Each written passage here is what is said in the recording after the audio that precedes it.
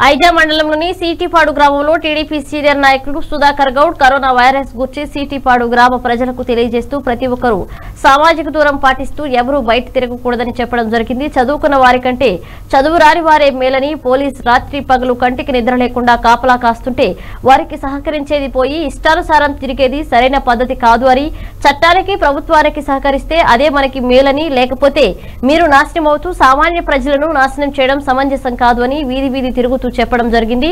ఈ కార్యక్రమంలో ప్రభుత్వ టీచర్ రవీందర్ గ్రామ ప్రజలు స్వచ్ఛందంగా పాల్గొనడం జరిగింది. గ్రామ ప్రజలందరికీ విజ్ఞప్తి. ఈరోజు చైనాలో పుట్టినటువంటి కరోనా వ్యాధి ప్రపంచాన్ని అంతా గడగడలాడిస్తుంది ఇది మార్చి ఫస్ట్ ఒక్కరి నుంచి మొదలుకొని ఈరోజు లక్షలాది మందికి వ్యాపించింది. మరి ఈ రకంగా అయితే మన మన భారతదేశం లోపల ఏ ఒక్కరు కూడా మిగిలము మరి దయచేసి సామాజిక దూరాన్ని పాటిస్తూ ప్రజల ప్రభుత్వానికి మరి అలాగే పోలీసులు డాక్టర్లు నిరంతరం శ్రమ పడతా ఉన్నారు.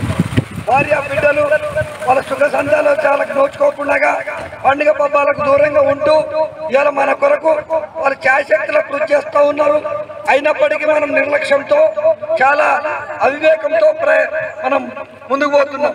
ఎడ్యుకేటెడ్ అయినటువంటి వ్యక్తులు ఈ రోజు చాలా మూర్ఖంగా ప్రవర్తిస్తున్నారు.